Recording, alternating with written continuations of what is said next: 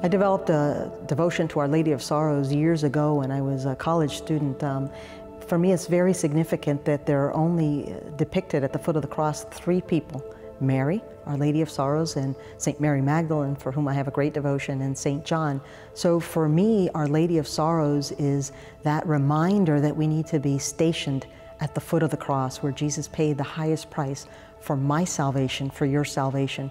And so when I have any sorrow, I can turn to Mary, and she's right there at the foot of the cross, which makes um, all our suffering, my sufferings, my trials, my uh, tribulations, uh, take on a whole new meaning because I know that after the crucifixion comes resurrection.